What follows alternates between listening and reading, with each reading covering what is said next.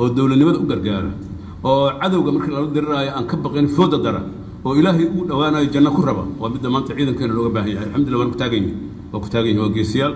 Aan gamban weligood lama arkin maydaana inta cadowga hor tageen ay ku soo jabeen. Yani waxaad ka garanaysaa keliyadagooda iyo dadnimadooda laakiin mararka qaarkood farsamo xumo iyo akhdaa iyo isku xirnaansho la'aan iyo waxyaaba saas waa iska dhacdhacaan. Waxyaabahaasuna waxay u noqonayaan arrimaha taagteega dagaalka.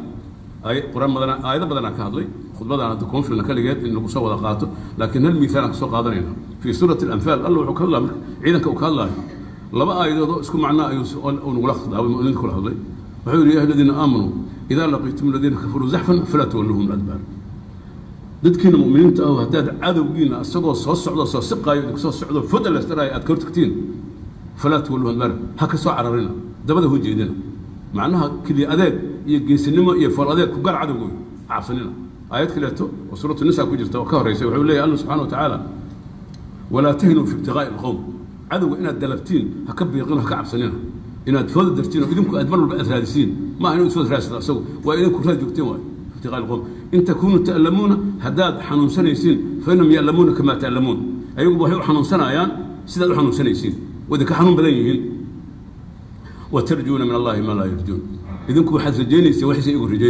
xanuunsanaysiin waa idinka xanuun badan yihiin watarjuuna min allahi maa laa yarjuun idinku waxaad rajaynaysa waxaysa igu rajaynayn khawaarij maanta hadday dhintaan iyo hadday wax dilaan manaari ku galayaan ciidanka la diriraayana nabiga noo sheegay sal alay wasalam hadduu dilo khawaarijta iyo haddii asaga ay dilaanba janna ku galaan bal culummadu waxay yidhaheen salafku waxay dhihi jireen acmaasha dhan inaan inta ka tagno aan maydaanka khawaarijta lagula diriraayo kaliya aan tagno ayaan ayaan kusuga ay ku sugan jireen. Sida yacni ballanqaadka jannada qofka khawaarij la diriraaya oo nabigu u adkeeyey sal allahu alayh wasalam قف أصدق أو واحد دلوا جنة كجلاي أنت كلا واحد لقى الله. جهات كم كلا قال الله. قف للدلوا جنة قال. لكن قف اسو أنت واحد دلوا سواء نبت قال هذا جنة أهل جنة. أه خوارج تقال كذا كلا لو قال حديث النبي صلى الله عليه وسلم. وعجيب.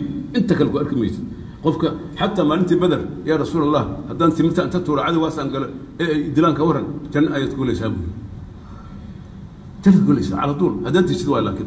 Laakiin adiga adigoo xataa aan dilin isaga haddaad dishid hadduu ku dilo janna gelaysaa laakiin adigu haddaad disho asaga xataa janna gelaysaa duuba liman qatalahum aw qataluuhu ayuu yidhi fiir waxaa la soo hormariyey weliba kii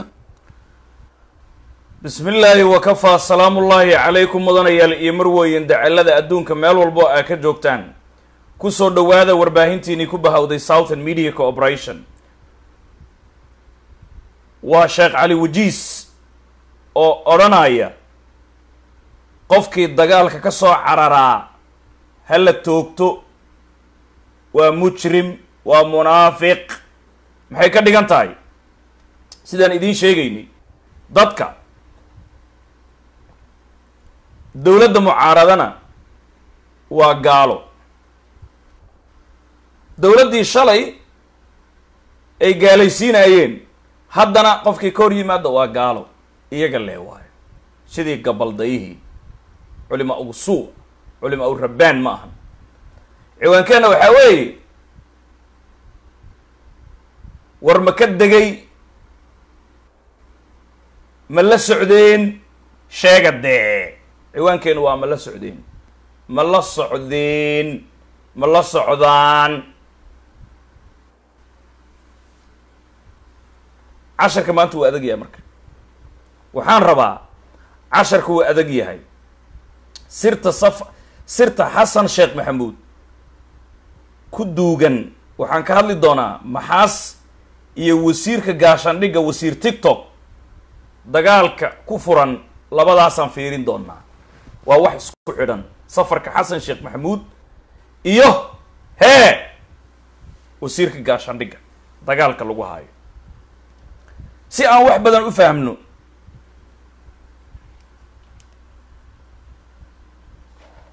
dhegiina iyo maahiya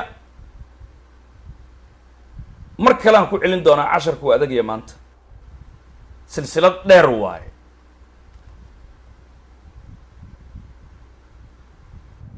Laakiin waxaan ku hormarayaa wararkoo kooban.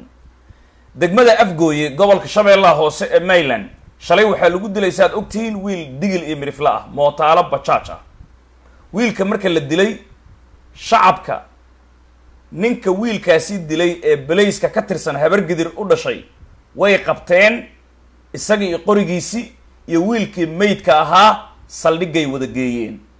Soo ma aragtid shacabka siday dowladnimo ugu diyaarsan yihiin afgooye laakiin waa lagu tumanayaa dadkan.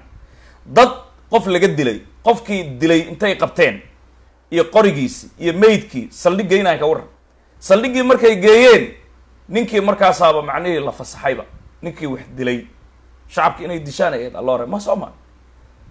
Yaa jooga saldhigga nimay dhahaan cali rooble oo hawiyaha la shaqaysta saldhig booliiska ah. Ninkaas haddaan la bedelin afgooy waa loo yaabaa. Sidaasay wax u dhaceen afgooy. Horta inaad ogaataan waay mudaaraadkana waad aragteen.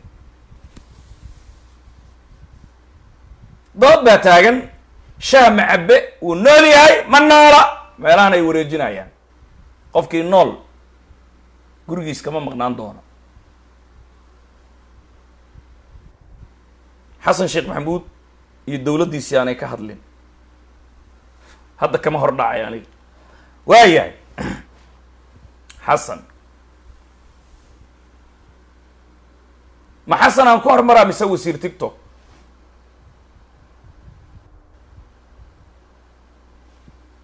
xasan ha ii dambeeye. Wasiir tictok aan ku hormaraa. Wixii hadda lagu wada hadlaayana maxaas kuu sheegi karaa? Hadda now. Meeshay wax maraayaan waa kuu sheegaa wasiir gaashaandhiggaan ku hormaraa marka hore. Wasiir gaashaandhigga cabduqaadir tictok oo nimankan ay isla shaqaysanayeen ayaa beryahan lagu dhegay. Awal way ammaanayeen hadda maxay ugu dhegeen? Easy way fududa.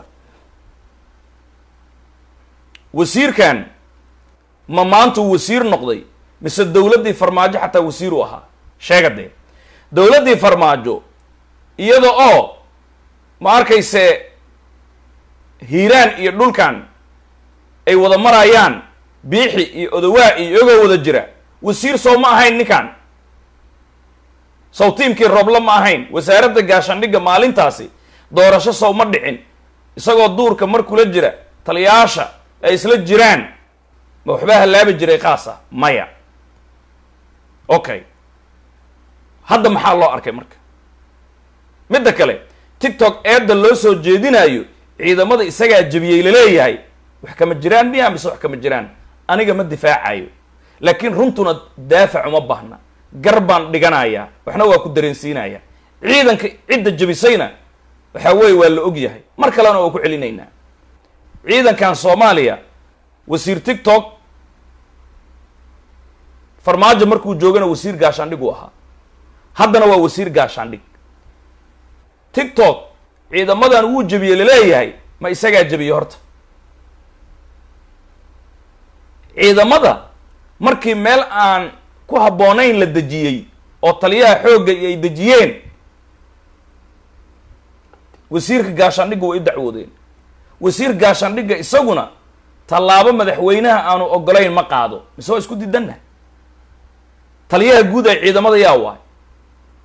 Waa madaxweyne xasan sheekh maxamuud taliska xoogga iyo taliyaha guud ee ciidamada madaxweynaha wasiirka gaashaandhiggaa udhexeeya soman okay ciidamada meel aan ku habboonayn marka la dejiyey oo mahad salaad oo taliya nisa ah uu soo farageliyey militariga. Bashiir gorgor markuu diiday ciidankan caws weyne lama dejinaayo. Meeshaan waa meel halis ku ah ciidamada. Markuu yidhi jagada laga qaaday mahad salaad uu soo farageliyey waxaad ogtihiin in ciidamadii taliyaha xoogga iyo mahad salaad ay meesha dejiyeen. Wasiirka gaashaandhigga laga booday. Ciidamada marka inta aan la laynin fiiriya laynta ka hor wasiirka gaashaandhigga waxay ku dheheen meeshaan annagu waana lagu laynaya oo taliyaha ciidanka uuna dejiyey. Tictok wuxuu la hadlay madaxweynaha. Wuxuu ku yidhi madaxweyne meeshaan ciidamada waxay leeyihiin waa khatar wuxuu ku yidhi dhib ma lahan. Anaa la hadlaaya isug. Madaxweyne xasan teleefonkuu qabsaday. Saraakiishii ciidamada markaasi taliya guutayaashii ayuu la hadlay. Wuxuu ku yidhi maalmo ii dulqaata anaa idinku soo maqan. Ha ka soo tegina meesha. Ilan ciidanka iyagoon xabadba lagu ridin oo aan la laynin la qarxinin inay ka soo baxaanay rabeen moogta xaqiiqada. Okay madaxweynihii marka markii lagu wargeliyey wasiirka gaashaandhigga cabashadii ciidamada uu u dhiibay madaxweynihii uu ku yidhi meeshaan ciidamada khatar bay nagu tahay madaxweyne waana go-doon.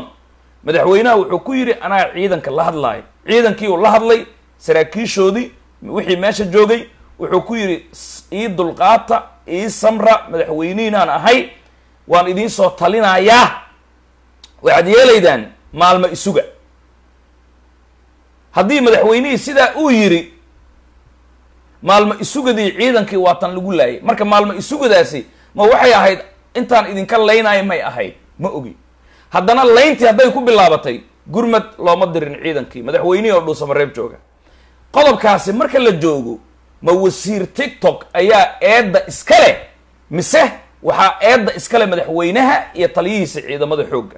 Fiiriya mar kale aan kuugu celinaa casharku adagya taliyaha ciidamada xoogga iyo taliyihii nisa oo aanba shaqo ku lahayn milatariga waa mahad salaad.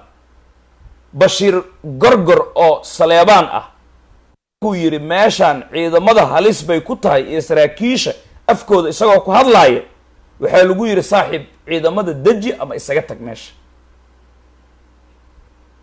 uu ka tegay shan maalmood kadibna waa la weerari doonaa. Ciidanka intaas kuma hakanin taliyaha xoogga wuxuu ku yidhi meeshaan dega war male. Okay wasiir gaashaandhigay dheen wasiir adi mana xukunta ahaa. Meeshaan khatar ay nagu tahay madaxweynihii ashtakada u geeyey. Anaa la hadlaayou yidhi saraakiishii la hadlay. Saraakiishii hadduu la hadlay wuxuu ku yidhi ii dulqaata maalmo sii jooga meeshaas ha ka soo bixina. Ilaan ciidanka inay ka soo baxaan ay rabeen iyagoon meesha lagu laynba. Okay ciidankii marka isuga marka la yidhi waa la laayay. Waad u jeedeen. Haddii la laayay eeddaasi ciidamada lagu laayay ma wasiir tiktok baa iska leh su'aal baan ku weydiinayaa mise madaxweyne xasan sheekh maxamuud iyo taliyihiisi xoogga iyo nisa iskale. Adaa iga jawaabay okay eedday iyagu galeen ayay doonayaan haddaan kuleeyahay in ay dusha u saariyaan qofkii iyagu ay ku shaqaysteen ee shalay la jiray. Waa tiktok. Waay. Sideeda ahaanba marka ciidankii marka la laayay haddana taliyaha ciidamada xoogga wuxuu yidhi iyo mahad salaad ciidamada inta dhimanna meeshii lagu dhameeyey kuwii la dhameeyey ha la geeyo.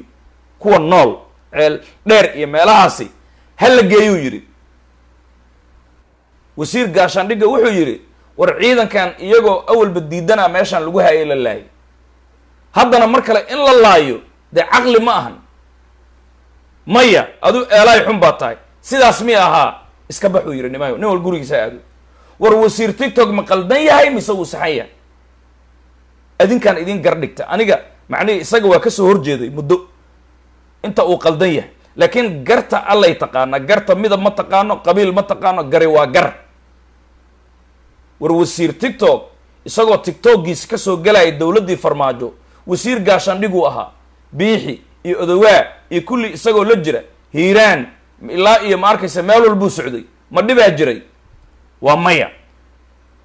Laakiin hadda maxaa loo arkooday? Allaare marka dembigii ay galeen dembiga ay galeen muxuu yahay marka? Dembiga ay galeen waxaa weeye ciidamadan la laayay furimahan galcad mise gawaa webxo caws weyne ceelbuur budbud ciidamadan la baabi'iyey tee macnihii hadda iyo doraadba iyo markii ka horreysayba cidda baabi'isay xasan sheekh maxamuud waay iyo saaxiibadiisii. Waxaan saas u leeyahay nin dhaqan celin isu soo dhiibay dowladdii farmaajo oo la garanayo oo dhaqan celin lagu haayay oo amiirada al-shabaab ka midka ahaa ayaa xasan sheekh maxamuud markuu yimaaday mahad salaad intuu xabsiga kala soo baxay jaguu u dhiibtay. Muxuu ka dhigay? Taliyaha howlgallada nisa ama sirdoonka qaranka soomaaliyeeduu ka dhigay mahad salaad. Ninkii isaga ahaa shirarkuu fadhin jiray waad ogtihiin. Shirka dowladda soomaaliya la dagaalanka argagixisada iyo shirka beesha caalamka iyo dowladda markay wada shirayaan goobjoog u ahaa. Kaartada droniska la duqeynaayo shabaabka meelaha diyaaraduhu ay tegi karaan iyo meelaha diyaaraduhu aanay gaari karin. Meelaha halista ah ciidanka meesha la dejinaayo dowlad iyo beesha caalamka kaartadii lagu wajihi lahaa dagaalka al-shabaab isagaa la goostay. Shabaab uu u geeyey. Ciidanka saasaa loo laayay. Already kaartadii diyaaradihii wax duqayn lahaa beesha caalamka iyo kaartadii dowladda soomaaliya shabaab ay ku wajihi lahayd intuba abu xasaan ayaa dhiibay. Abu xasaan hadde kama wado macnaha xasaanka nairobi fadhiya. Nin ay dhahaan abu xasaan afgarashadiisi waa taqaanaan oo ceel dheer ka soo jeeda oo farmaajo dhaqan celin ku haayay ayay mahad salaad intuu macnihii ka dhigay taliya galada al-shabaab ee macnihii nisa ayuu kaartadii la goostay. Muddo sanadku dhowaad ayuu ahaa taliyaha howlgallada nisa ee qaranka soomaaliya. Kaartadii oo dhan uu qaaday duurkuu la tegay diyaaradda meeshay duqayn doonto waa la ogyahay shabaab way ogyihiin. Haye ciidanka meesha la dejin doono wuu ogyahay. Ciidankaasi yaa laayay. Ani markaan ku leeyahay nimankan shabaab ay wada shaqeeyaan. Beenaad u haysataa. Ciidanka yaa laayay. War ninka magaciisi muxuu ahaa? Haddaanba kuusoo qori karaa. Fiiriya ninka macnihii kaartada la gooyey kaas waay. Maxaa jagada kaasi mahad salaad ugu dhiibay maxaa yeelay mahad salaad shabaab uu u shaqeeyaa shabaab war kama diidi karo? Haye. Xabsiyada iyagaa kala baxa. Nimanka shabaaba cabdu cabdisataar cabduqaadir ciise. Abu xasan. Abu xasaan cabdisataar. Cabduqaadir ciise oo ceel dheer ka soo jeeda ayuu ahaa. Ninka ciidanka sidaa u galay. Mahad salaadna wuu ogyahay marka dadku ma dhoona marka aan ku weydiiyo ciidanka yaa lahay hadda marka. Haddii cabdisataar uu kaartadii la goostay mahad salaad uu taliya ka dhigay farmaajona uu ku haayay meel markuu isoo dhiibay mahad uu ka dhigay ilaa iyo xalano uu fadhiyey taliyaha howlgalladii nise dhan loo dhiibay kaartadii dhammayd ee lagu dagaalami lahaa face one la goostay waayahaye yaa laayay ciidanka. Marka eeday iyagu galeen iyagoo shabaab la shaqaysta ayay doonayaan kii ay ku shaqaysanayeen inay dusha ka saaraan? oo boqol iyo siddeetan digrii iswareejiyey qodobkaa isaga ah waa ku dheeraaday. Waan ka gudbaynaa. Waxaan aadaynaa maxaas.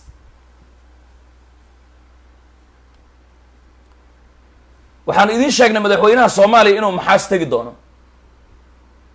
Horta ma ka degay? Sheega dee. Waayo waxaan idiin sheegnay haddana xawaadle inay diideen beledweyne. Ma beledweyne uu tegay sheega dee waa maya. Waxaan idiin sheegnay xawaadle inay dhaheen. Haddii abtiyow abtiyow aana tiri saaxiib habargidir hal qof oo kula socda ma ogolin. Iyo saaxiibadaada. Saasay ku dheheen aan ku dhahay. Haddaad noo imaanaysid keligaa ayaa noo imaanaya.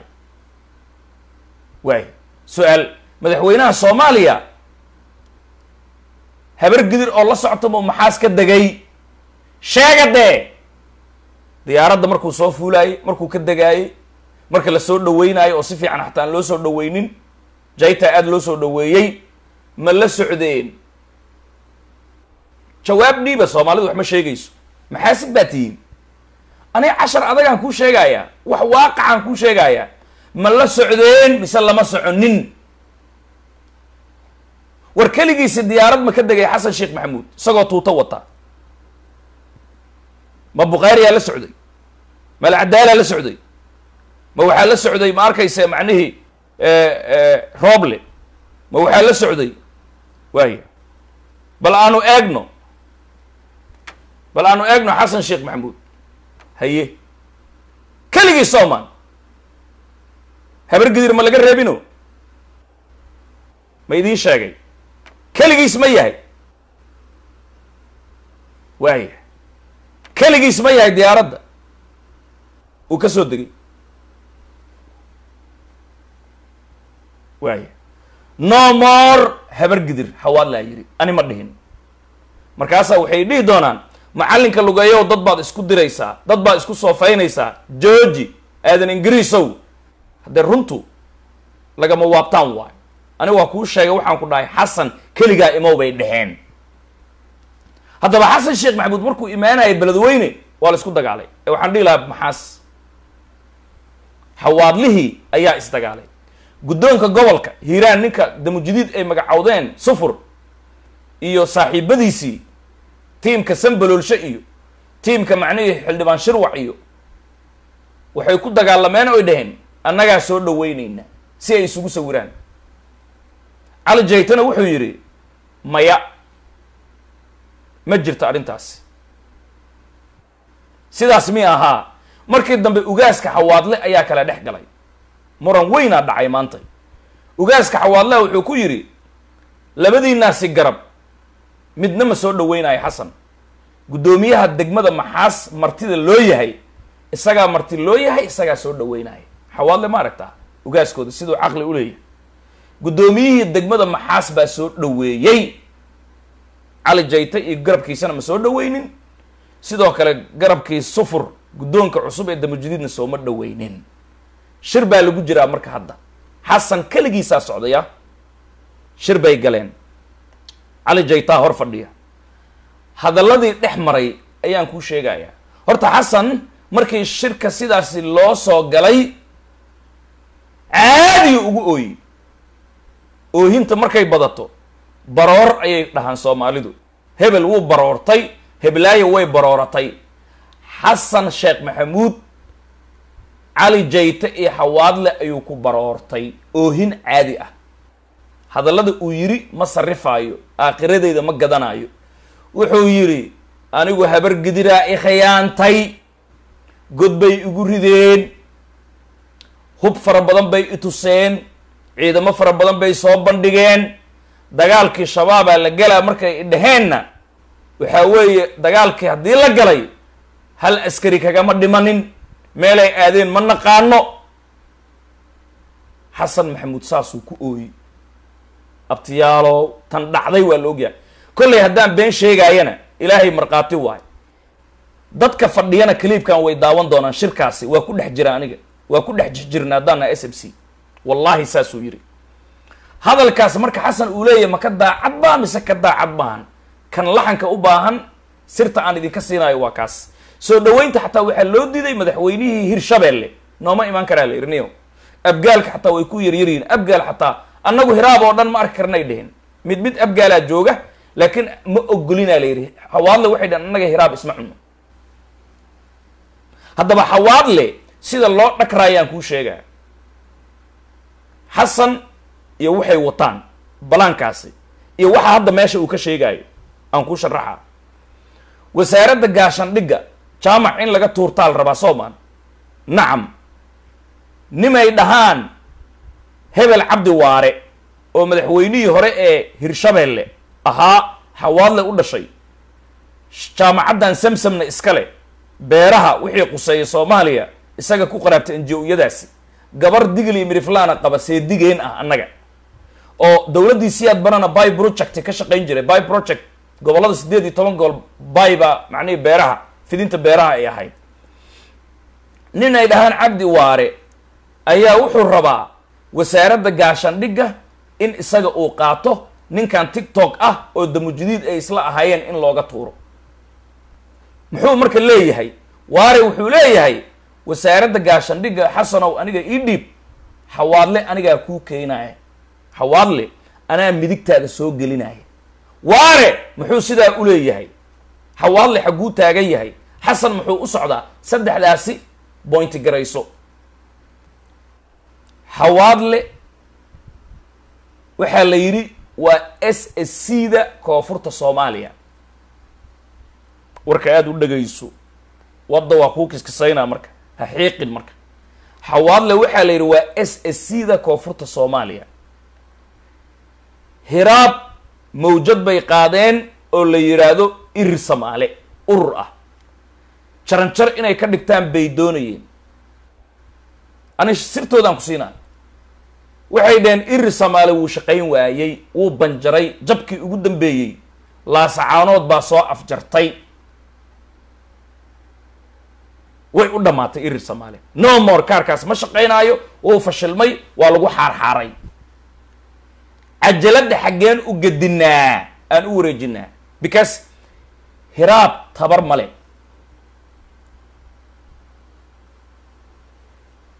tabartiisana laascaanood aa lagu arkay cajaladuu dhaqaajinaya irir soomaali haddaan oo carruur uma sheekaynaayo tabaraan rabnaa xamar hoteelaha digli imirifle muddo la buufiyey beriisay cuneen badaray cuneen qaarkood baydhabay u kala dhuunteen. Shaqayn waaye. Qum yaa digil iyo mirifle qum yaa digil iyo mirifle kuwii digrinaya maxay dhihi jireen? Qum qum ubaadiriya. Qum yaa waliyaala. Qum yaa digil iyo mirifle qum yaa raxaweyn qum yaa biyamaal shaqayn weyday hadda ma fahmaysaa? Waa kaa bangiyada macnihii furanaayo baydhabo soomaan taangiyadooda la siiyey allaare marka haddii iri samaalana ay soo banjartay dadkii sagaashan iyo kowdii ilaa iyo hadda ciidanka laga dhiganayeyna ay xumaatay. Markii ugu dambeysay xarumihiina ay soo faarujiyeen dagaalka. Ilaa iyo cows weyne meel walba. Kaarkaasi wuu gubtay maanu ahaa xaggeen marnaa hadda. Waxay dhaheen marka xawaadle aan ku shaqaysano xawaadle xooguu leeyahy isaga way og yihiin dowladdii siyaad bare. Caydiid yaa soo dhaqaajiyey. Xawaadle intuu joogi jiray majaahidkii mustaxiil feerfeer xawaadle la'aantii hiraab wax ma dhaqaajin karo. Haddaa ma kuu sheegayaa xawaadlihii markii isku duway wuxuu isku duway wixii hiiraan deganaa murursado ku dar waxaasoo dhan oo urursaday. Shirka hadda waxaa fadhiya baadicadde waxaa fadhiya maxaas xasan sheekh hortiisii xawaadlaa fadhiya waxaa fadhiya murursada wuxuu sheegayaan haddaan kuu sheega wuxuu dhahayna waa kuu sheega wuxuu dhahayna waa kuu sheega because shirka waa ku dhex jirna annaga. Xasan sheekh maxamuud macnihi nimankan waxay dhaheen xawaadla aan ku shaqaysano maadaama s s c da koonfurta soomaaliyeed uu yahay. Sideen ugu shaqaysanaa waxaan ugu shaqaysanaynaa dagaalka adigaan kuu dhiibnay ka dhanka al-shabaab. Ha ku dhintaan iyaga maxaa kaa galay waayahay sideen usaa u sabaasabnaa jagooyin aan kala gadanaynaa. Jagooyinkii marka waa lagu tartamaya maxay tahay? Wasaaradda gaashaandhigga cali jaytow iga qabso xasan sidaasuu hadda leeyahay. Digli iyo mirifle maahanoo ahaa wasaarad e ayaan siinayaa. Hadda fadhiga. Digli iyo mirifle wasaarad e ah ha noqoto wasaaradda waxbarashada ama wasaaradda macnihii tamarta iyo shidaalka waxaasaan siinaa. Maxaas isagoo jooga xasan sheekh maxamuud aadan madoobe guddoomiyaha baarlamanka kool ku soo dhuftay. Wuxuu ku yidhi dhegayso wasaaradda gaashaandhigga ya ayaa rabtaa inaad bedeshid sow maan haa okay annagaa iskale saamigeenna waay haddii la bedelaayo wasaarad kale ma qaadanayno wasaaradda maaliyaddan awalba lahayn haddaan digli iyo mirifla nahay midda maaliyaddaa gacanta noo gelinaya qofkan annagaa la imaanayna. Haddaan nahay stateka maryland. Haddii sidaa la waayo wasaaraddaasi gaashaandhigga ma taaban kartid. Aadan madoobe saasuu yidhi liveka intaana soo gelin. Taleefonkana wuu ku damiyey. Ko aadan madoobena ceelkiiu fadhiya hadda ogow. Aadan madoobey lafta gareen oo iskaashanaya iyo soomaali weyn looma dhowaan karo. Allore marka isla wasaaraddan gaashaandhigga miro miro miro gacan ku jira kuwa geed saaran. Yacni quud aan jirin baa loo qoryo guranayaa. Wasaaraddii gaashaandhigga oo dadkii lahaana ay taagan yihiin oo xasan marar badan oo haliga bedelo baa haddana waare isaguna waare waare iyo jayto way iska soo horjeedaan. Waare wuxuu ku garab yahay garabkan damujudiidka taageersan xawaadlaha ah isaga iyo sufur iyo shirwax iyo sanbaloolsho iyo isku tiim waay. Waare isagana wuxuu leeyahay xawaadle anaa gacanta kuusoo gelinayo ku shaqayso sidii s s c oo kale waxaad yeelaydaa ma arkayse xasanow xawaadle anaa ku hayee isiya aniga wasaaradda gaashaandhigga. Isagaa isla raba waare inuu ku fadhiisto wasaaradda gaashaandhigga. Horta wasaaradda gaashaandhigga gorgortankeedana meeshaasuu marayaa. Tiktok sababta loo bursanayona waa sidaasi. Dembiyadii ay galeen ee dusha inay ka saara inay ka saaraan ay doonayaan. Ninka shabaabka ahaa ee ma arkayse mahad salaad xabsiga intuu ka soo saaray taliyaha howlgallada nise uu ka dhigay ilaa iyo xalane fadhiyada kaartooyinka la dagaalanka face one macnihii kaartooyinkii oo dhan gacanta intuu ku dhigay shabaabka u goostay ciidanka sidaa lagu laayay waxaasi way qarinayaan idaacadahana kama sheegaan. Laakiin tiktokaa u fudud waayo nin raxaweyna waayo qodobkaasi waa fahamta amaa xasan sheekh maxamuud marka muxuu leeyahay? Xasan sheekh maxamuud hadda wuxuu leeyahay abtiyaalow dagaalka idinkaa idin dhiibay na hogaamiya cali jayte muxuu yidhi marka hadda intaan liveka soo gelin shirka. Cali jayte wuxuu yidhi madaxweyne soo dhawow shabaabkan aad sheegaysid la dagaalankiisi saddex boqol oo nin oo digil iyo mirifle ah. Wallahi saasuu yidhi. Xasan ma inkiri karo. Madaxweyne xasan kakab kollay beenlow waay laakiin kuwa la fadhiya way ogyihiin saddex boqol oo digil iyo mirifle ah iyo saddex boqol oo xawaadlo ah keliya oo qalabaysan. Haddii gacanta la ii geliyo shabaab waa ku filan yihiin uu yidhi intaas. Soomaali kale xataa looma baahno dagaalkan daacad haddii loo galo daacad laga yahay easy.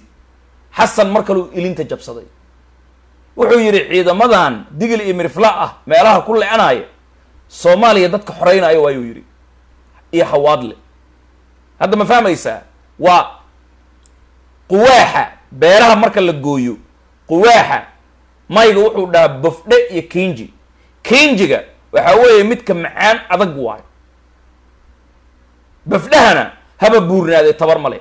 Wuxuu yidhi cali jayte wuxuu ugu maamaahay.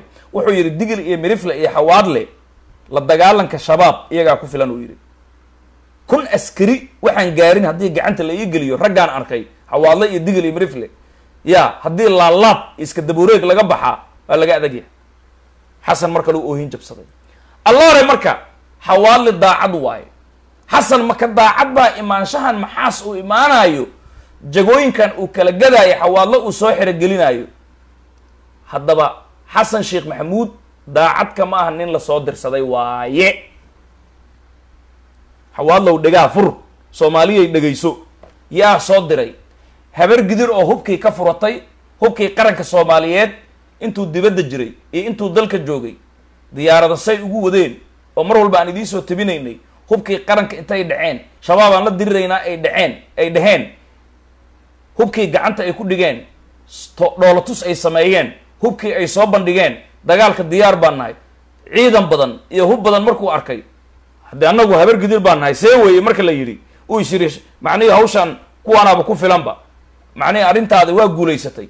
Markuu is yidhi xabadda markay bilaabatana hubkooda ay qarsadeen kaarkii iri samaale markuu soo burburay iyagaa soo diray. Arrinta hiraabaa wata gaar ahaan habar gidiraa wadata. Marka hawaadle isaga abtiyaal bay u yihiin. Hawa fiiri isaga wuxuu dalbaday hawaadle inuu fiiriya hawaadle inuu maxaas dejiyo dagaalka maxaas uu ka hogaamiyo. Ayuu xasan sheekh maxamuud ka dalbaday abtiyaashiisii. Way ka aqbileen markii horta wuxuu yidhi beledweynaan dagaalka ka hogaaminaa waxaa lagu yidhi beledweyne face one saaxiib way kaa fog tahay.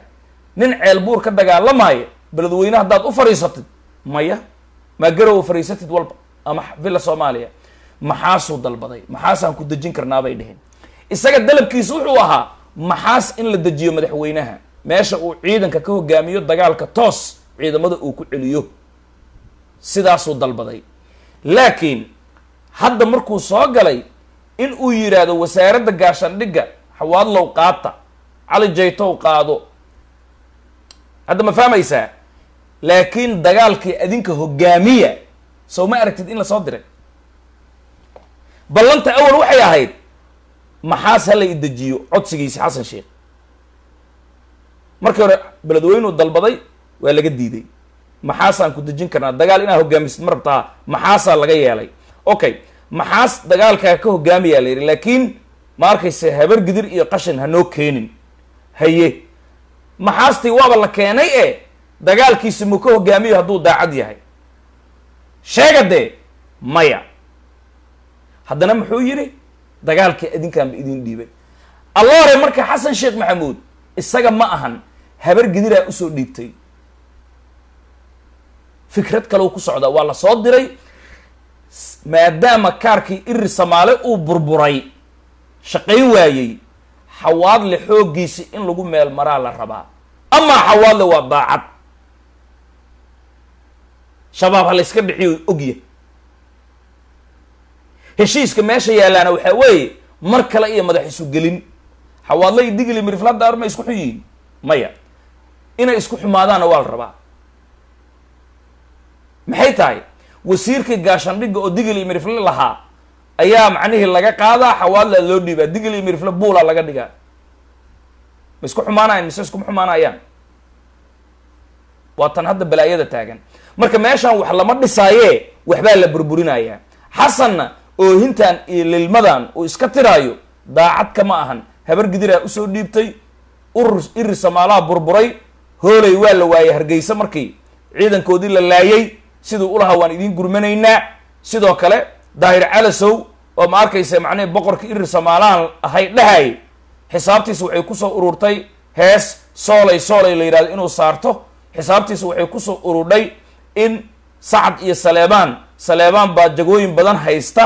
Sacad aaway xaqiisi inuu ma arkaysa miiska la soo fadhiisto. Aaway gurmadka isaaq loo fidinayo na loo sheegi jiray. Marka wixii way soo burbureen. Marka kaar cusubaa la rabaa hadda now amaa kismaayo axmed madoobe maantay dhammaan ciidamada dowladda federaalka soomaaliyeed. Hadday tahay danab hadday tahay gorgor hadday tahay militariga caadiga kulli wuxuu yidhi howlgal haba yaraatee shabaab lagula dagaalamaayo ee dhaqdhaqaaq ma jiro haba yaraatee. Wax kastoo xasan sheekh maxamuud dowladdiis xiriir la leh ooda cawdaan u gooyey. Maalmaha soo aadan ama saacadaha soo aadan axmed madoobe idaacadda inuu ka dhawaaqo ayaa la sugayaa. Uu yidhahdo dowladda cawdaan u gooyey ma ahan dowlad soomaaliyeed. Ko qodobkaas isaga waad fahamtay. Daraadna wuxuu soo tarxiilay walaalkiisii xasan sheekh maxamuud oo cali gaaf ah oo awal xildhibaan wasiir sharaf loo siiyey kismaayo ayaa la soo tarxiilay. Weliba isagoo katiinadaysana xamar laga soo dejiyay axmed madoobe uu soo katiinaday ninkii xamar markuu yimaaday cali gaafka ahaana wuxuu yidhi qalbi dhagax tuu baan ahay. Fiiriya ogaadeenaa soo tarxiilay. Katiinadeeyey nimankan inay addooma yihiin haddana isla daaroodkii nin ogaadeen ah oo kalean ahay uu leeyahy daarood adinba daaroodka. Marka dadkiina dhahay digl iyo miriflow sagaashan iyo kowda ilaa hadda daarood aan iska dhicinno daarood aan iska dhicinno daarood aan iska dhicinno daarood annaga dhib gooni a uu noo geysta ma naqaane? Kuwa isbaarada noo dhiganaya ay noo sheegayeen sidaasi. Islaam allow ninkii cali gaaf laga soo tarxiilay magaalada kismaayo isagoo katiinadaysan weliba xataa sacuudiga haddii lagaa soo tarxiilo adoo katiinadaysan ma lagu keenaayo adoo caadiya lagu keenaayo laakiin ninka isagoo katiinadaysan xamartiisii laga soo dejiyey weli sii taagan aniga sidii nin nin ogaadeen oo kalaan ahay. Ahaway kuwii baraha bulshada markana dhibaateeyey oo afar iyo labaatan saacadood aan ka harsan weynay ka joogi weynay oo dhihi jiray ma arkaysa macnihii eelay waa sidaan barawa nagaale awe daarood adinba daaroodka daarood adinba daaroodka la isberay wax u jawaabayo ma aragteen daarood ilaa hadda barihii bulshada hawiya wuu dhuuntay waay xasan sheekh maxamuud marka hadda wuxuu hor fadhiyaa xawaadle iyo baadicadde iyo murusade wuxuu leeyahay iga raalli ahaada dagaalka idinkaa wadi kara face one idinkaa idinka dambeeyaa madaxaan idiin salaaxay wuu ku ooynaya waa munaafiq. Waa ninkii yidhi askartii la laayay waa kakab waa been. Meediyaa soo fadhiistay xawaadle in la dhagraal rabaa. Soon or later ama ha soo degdego ama ha soo daaho hadalkayga galaad gadaal baad ka fahmi doontaan haddaan been sheegaayo waay abdicasiis lafta gareen shalay beejkiis wuxuu soo dhigay madaxweynaha soomaaliya waa hambalyeynaya howlgalka macnihii waa ku garab taagannahay yay yay dilay. Waxaa la yidhahdaa political language luuqad siyaasadeeda la dhahaa. Dadkaasi way kala tageen anaa hadda kuu sheegahay xasan sheekh maxamuud iyo lafta gareen iyo dowladdiisu way kala dhaqaaqeen. Xasan niman mucaarad uu yidhi ordaha kenya taga mursal iyo tiimkaasi iyo macnihii shariif xasan bilaaba ma fahmaysaa dagaalka meeshaan hoos wuu socdaa. Laakiin adiga koryay dilay maanta u n d b daa la joogtay waad ujeedeen bangigii soomaaliya laantiisi baydhabaa laga furay. Bangigii turkiga iyo qatar ay ku lahaayeen soomaaliya oo xamar ka furnaana baydhabaa la geeyey. Ma ogtihin mise ma ogidiin? Turkiga bangiga bangigii turkiga iyo qatar baydhabaa la geeyey baydhabaa laga furay. War aayadiina qaata wariyaadaha. Cid idin maqan oo kale haba yaraatee ma jiro. Waad aragteen guddoonka gobolka shabeellaha hoose degmada qoryooley intuu soo kormeeray. Shabaabkii hawiye marka laga saaray. Haddana wallaweyn wiilashii beerka madoobaa ee beerka adkaa dhalinyarada iyagoo macnihii ciyaaraha ku wanaagsan. Alla digli mirifle ciyaaraha way ku fiican yihiin. Dagaalku way ku fiican yihiin. Aqoonta burakaba waad ogtihiin hooyadii cilmiga. Soomaaliya oo dhan iyadaa garacday puntland galmudug dhuusaday ku celisay dhuusamareeb car dhuusay tiri hadda ka hor. Ilaa xamaray garaacday hadda ma fahmaysa war dhan walbay ku fiican yihiin gabdhehena samirkay ku fiican yihiin quruxday ku fiican yihiin dulqaadkay ku fiican yihiin niman la duubadkay ku fiican yihiin carruur korsashada samirka ya salaada diinta ya wax la heli kara kuwan meelaha ka niniike kuma jiraan. Inta badan niman digli miriflo oo xabadka macnihii durtay oo naasa leh candhasaab iyo kayshali ku xayuuqaaya ma arkaysid? Ilahay uuna nimceeyey. Walaalayaal ugu dambayntii marka waxaan rabaa inaan sheego xasan sheekh maxamuud istraatiijiyadaysi waan sheegay casharkan uu adag yahay waarana wuxuu u dhagxaynayaa in wasaaradda gaashaandhigga isaga loo dhiiba xawaadle inaad ku shaqaysataan hiraabo anaa idin keenayo macnuhu waa sidaasi s s c aa dad soo jabisay s c koonfurta soomaaliya waa xawaadle layidhi xawaadle. Kaarka hadda xawaadle u saaray. Waad arki doontaan maalmahan habar gidir oo aad u ammaanaysa xawaadle waad arki doontaan. Ilaa iyo kaarkeeda uu fashil maayo marka kaarkeeda uu banjaro caay bay ku bilaabayeen soo fiiriya baraha bulshada. Waayo siyaasadooda hadda macnihii doonta keliya ay rabaan in ay macnihii ku badbaadaan waa xawaadle xoog kale u haray male waay. Waxaan rabaa inaan ku soo gabagabeeyo shaahma cabbe ani hal maraan hadlay. Wiilkaasi gabar ilma adeer ay yihiin oo guddoomiyaha haweenka gobolka banaadir jawaahir baarqab oo hartay abgaal marka laga yimaado habar nugaaleed ay isla yihiin a hadashay. Si diblomaasiyad ay u hadashay nabad iyo nolol waa iyada. Laakiin hadda inay badbaaday rabtaa annaga dawladdan ka sugaynaa ay tiri noloshiisi iyo geeridiisii wasiir ra'iisul wasaaraha nooma sheegin maarkayse madaxweyneha jooga laama amniyaa jooga iyagu waxay dhahaan aan sugaynaa. Soo kuma dhihin. Laakiin anigu ii nool yahay weli maxaa yeele hawlgaluu ku maqnaa qofkana wuu dhiman karaa wuu noolaan karaa. Hadalkeeda maxuma gabadhaasi sharafta leh habar nugaaleed. Hadda ma fahmaysaa in adeerkeed? Laakiin shahma cabbe anaa hadda kuu sheegay ku noq noqon maayo. Shahma cabbe facebooku ka soo warramay wuu nool yahay. Sidaa kuwa ku dhahaya ya xasan sheekh maxamuud iyo saaxiibadiis yaanay ka hadlin maraan dheerayn. Yaanay ka hadlin waa loo fadhiisan doonaa wixii la dhihi doonee yaanay ka hadlin hee idaacadda yaysan imaanin dawladda wa haddaan wax ognahay ilaahay waxna ogeysiiyey. Yaanay ka hadlin dhib ha dhahaano shaama cabbe ma nool yahay. Sirdoonkaygu wuxuu caddeeyay ma noola weliba sagaal jeer ay ku noqdeen. Waa ku noq noqonay ma nool yahay ma nool yahay ma nool yahay ma nool yahay. Wax kastoo laysla dhex maraayo ugu dambeyn ninkaasi cid kale ma weydiinaysid s m c sirdoonkeeda sida ay noogu warrameen. Ma noola ama dadkii sidee loo qanciyaa ha u fadhiistaan caawa. Caawa lix saaca loo fadhiyaa.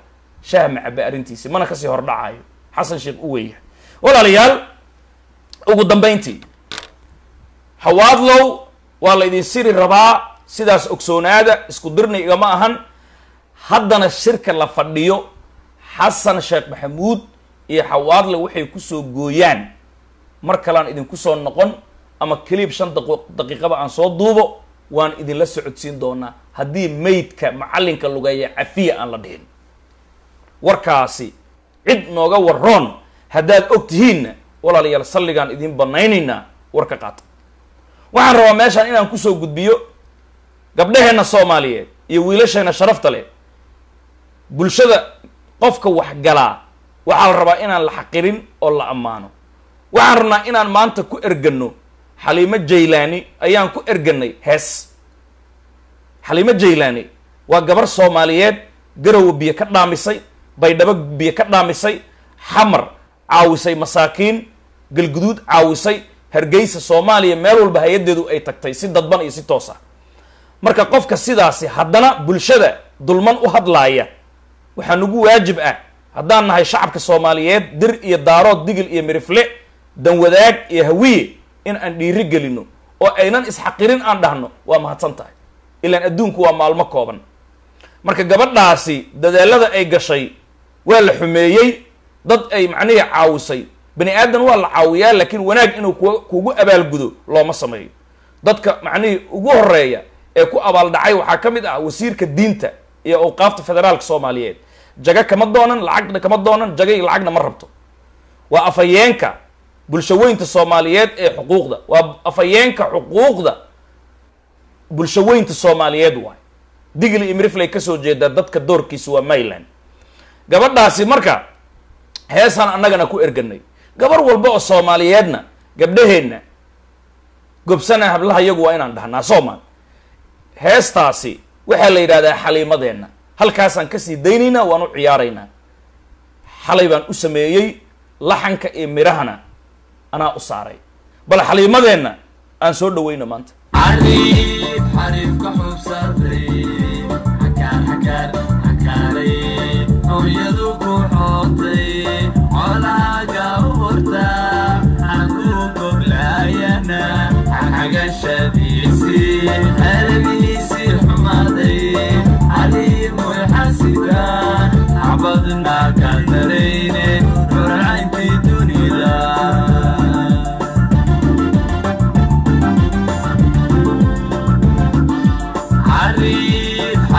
xubsaday xakaar xakaar xakaaray hooyadu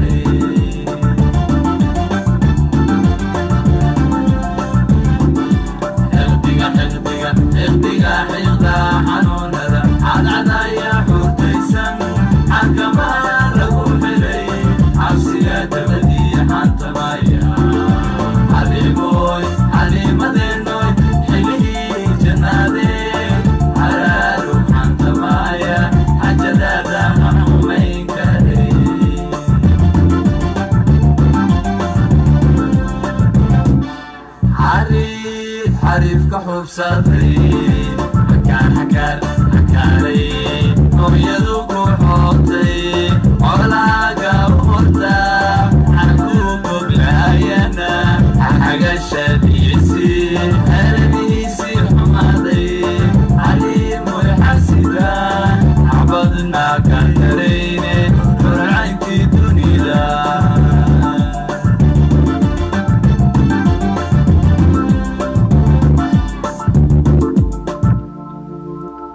xaliimo jaylaani samafale xaliimo jaylaani ayaan u ciyaarnay. Haddii ilaahay uu ka raali noqdo ka badan ayayna mudan tahay. Gabdhaha soomaaliyeedna ha la dhiirigeliyo. Dadka soomaalinimada ay ku weyn tahay qarannimada ay ku weyn tahay wanaagga samafalka in la dhiirigeliya aad bay u fiican tahay. Madaxa korkiisa ay noo saaran tahay. Haddii ilaahay uu ka raali noqdo. Walaalayaal beled maxaas maxaas isha ayaan ku hayn doonaa haddii ilaahay uu ka raali noqdo warkana meesha uu taagayo waan idin siinay insha allahu tacaala waa ku soo noqon doonaa natiijada ka soo baxda shirkaasi madaxweynaha soomaaliya mudane xasan sheekh maxamuud. Dhammaantiin waa mahadsantihiin rabulciza ka sokow dardaarankeena waxaa weeye camalkana ilaahay dartiisa u qabo. Maxaa yeelay midkaad u camal falaysaa daraaddii ebe wuu arkayaa sahaydana badso safarka waa uu dheer yahay xamuulkana iska yaree kaabada la fuuli doonaa mid adag weeyaan. Walaalayaal naftan la isu dhiibayay la isma siinay muuqaalkan muuqaalka xiga kahor haddiina lakala qaato ballanteenna waxaa weeye inaan ku kulannaa xawdkii nebi maxamed calayhi salaatu wasalaam firdowsa